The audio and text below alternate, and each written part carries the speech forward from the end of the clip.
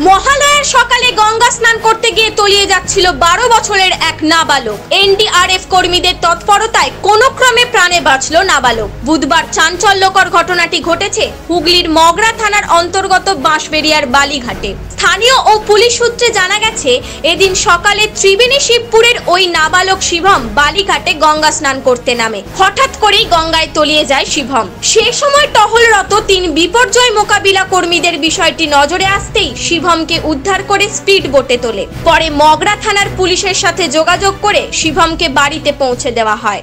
বলো। আজ সকাল ছটা নাগাদ ত্রিবেণী বালিঘাটে একটা দশ বারো বারো- বারো বছরের শিশু হ্যাঁ ডুবে যাচ্ছিল। সেখানে আমরা ডিজাস্টার ম্যানেজমেন্টের স্পিডবোট অপারেটর আমরা গিয়ে সেই বাচ্চাটাকে উদ্ধার করি এবং মগরা থানার আন্ডারে তাকে এ- হ্যাঁ ত্রিবেণী ছিল।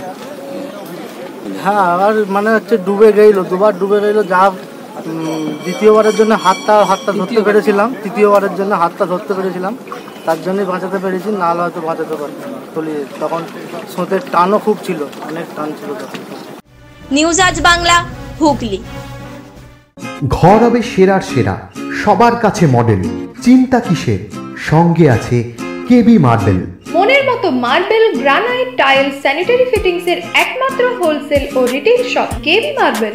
যোগাযোগ nine four three four zero five nine seven five three. অথবা eight nine one eight one two six zero four four আমাদের ঠিকানা বসন্তপুর আমতলা মোড় আরামবাগ হুগলি। সাজাবো আমি স্বপ্নের বাড়ি। কেবি মার্বেলসে দেবো বাড়ি।